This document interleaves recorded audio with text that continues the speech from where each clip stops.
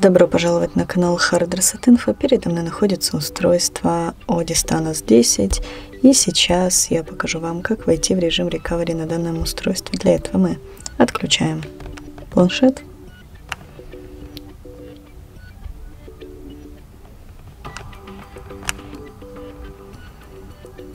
И после его полного выключения мы зажимаем кнопочку питания и увеличение громкости.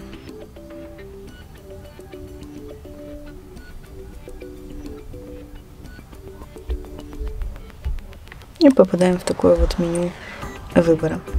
Э, передвигаться здесь мы можем при помощи кнопочки увеличения громкости, а делать выбор при помощи кнопочки питания. Выбрать нам нужно самую первую нашу опцию, то есть Recovery Mode.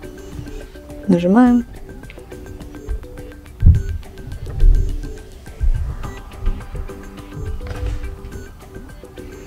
И попадаем в меню Recovery. Здесь же мы передвигаемся при помощи кнопочек громкости.